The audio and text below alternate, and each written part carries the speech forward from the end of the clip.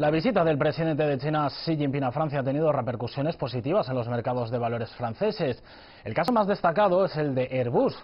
Las acciones de la compañía han subido de momento cerca de un 2,5% tras el pedido de 300 aviones que ha hecho China, valorado en 30.000 millones de euros. Además de Airbus, otras compañías francesas han firmado acuerdos con socios chinos durante la visita de Xi, como un convenio de 6.000 millones de euros de Schneider Electric con China Power Construction Corporation y el acuerdo de Louis Vuitton para participar en la Expo Internacional de Importaciones de China de este año.